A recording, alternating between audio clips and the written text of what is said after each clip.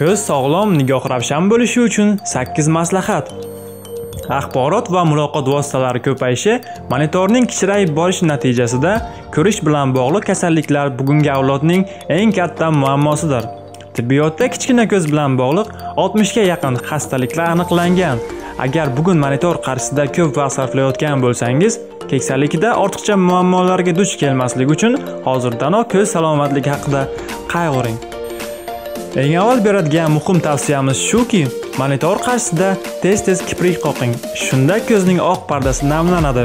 Ko'zning ko'rish qobiliyati va boshqa ko'z kasalliklari oq pardaning qurishi bilan bog'liq. Ko'zning ko'rish qobiliyatini oshiramiz. Ko'zga dam bering. Kunning ish eng tig'iz bo'lgan soatlarida har soatda bir marta ko'zlarni 2 daqiqa mobaynida yumib, ularga dam bering.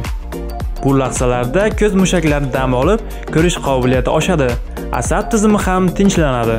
Bunga odatlansangiz, tez orada nigohingiz ravshan tortib, ko'zingiz o'tkirlashadi.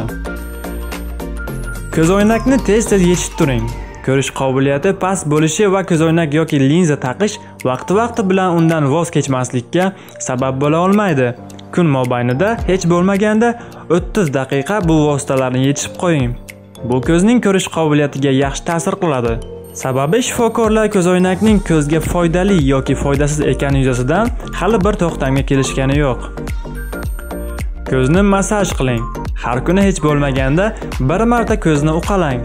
Ikkala kaftingizni ochib, ko'zlaringiz ustiga qo'ying va 1-2 daqiqa mobaynida ohista uqalang. Natijada ko'zdagi mayda qon tomirlari qon almashinuvi yaxshilanadi. Ko'z dam oladi. Ko'zga dam bering. Ko'zni hadeb zo'riqtirishga odatlanmang. Har 20 daqiqada ishdan chalg'ib nigohingizni uzoqlarga tiking. Bu diqqatni oshirib, ko'rish qobiliyatiga ijobiy ta'sir qiladi. Ayniqsa uzoqni ko'ra olmaydiganlar uchun bu foydali tavsiya. Ko'z uchun issiq kompress.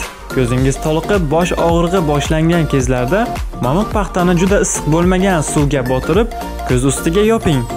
Natijada ko'zning oq pardasi namlanadi, charchoq yo'qoladi va hatto bosh og'rig'idan ham xalos bo'lasiz. Mahsulotlarga e'tiborli bo'ling. Sabzi, baliq moyi, ko'katlar, yong'oq mahsulotlarini ko'proq iste'mol qiling. Ular ko'zga qorong'uda ham yaxshi ko'rishga yordam beradi. A vitaminining tanangizga ko'proq tushishiga e'tiborli bo'ling. Tabiat qo'ynida sayr qiling. Tabiat rangi ko'zni quvontiradi va sof havo salomatlikka xizmat qiladi. Ko'proq sayohat qiling. Ko'proq sayohat qilish salomatlik garovi. Yuqoridagi tavsiyalarga amal qilsangiz, ko'zning tez toliqib qolishi va yaxshi ko'rmasligi, bosh og'rig'i kabi dardlardan xalos bo'lib, hayotga tetik va o'tkir nigohda qaray boshlaysiz. Videomiz sizga yoqqan bo'lsa, like bosing. Kanalda agar birinchi marta bo'layotgan bo'lsangiz, obuna bo'lishni unutmang. Hozircha xayr, sog' salomat bo'ling.